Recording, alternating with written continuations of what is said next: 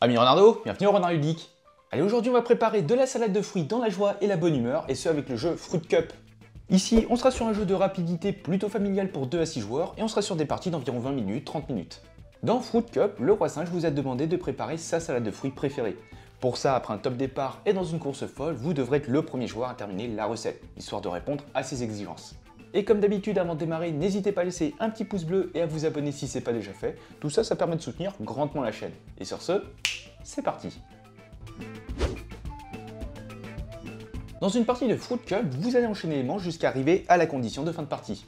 Chaque tour de jeu est en fait décomposé en trois phases, avec une phase de préparation de la salade de fruits, une phase où vous allez vérifier la composition de votre recette, et enfin une phase de score. Et là, vous serez prêt à enchaîner sur une nouvelle manche. Durant la première phase, vous allez commencer par retirer la carte du dessus du paquet et la défausser.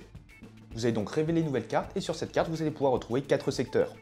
Le premier secteur, donc celui qui se trouve en haut à gauche, va vous indiquer le nombre de pièces pour chaque forme. Et les autres secteurs vous indiquer à la fois le nombre de pièces par couleur et éventuellement les différentes formes nécessaires. Puis de façon simultanée, vous devrez avec votre cuillère extraire les fruits du gobelet, jusqu'à ce qu'il reste que les fruits requis.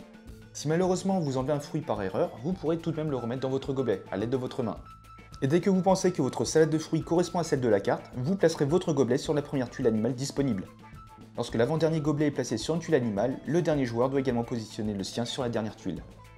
Et vous devrez ensuite vérifier la composition de votre salade. Pour cela, vous allez vider vos gobelets en laissant les fruits à côté, à l'exception du dernier joueur. Vous allez retourner la carte recette et vérifier que pour chaque gobelet, les fruits sont exactement les mêmes que ceux indiqués. Si les fruits correspondent, tout va bien, vous laisserez le gobelet à sa place.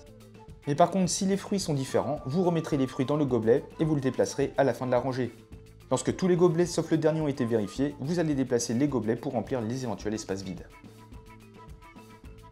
Et enfin, dernière phase qui est la phase de score.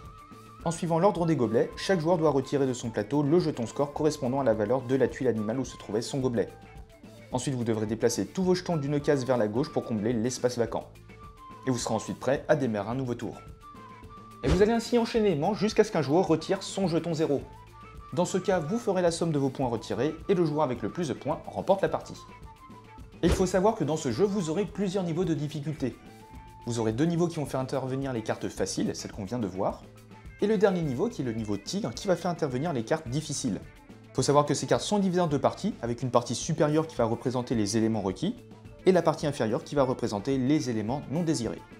En gris, vous allez retrouver le nombre d'éléments requis qu'importe la couleur, et les taches vertes représentent le nombre total d'éléments requis de la couleur.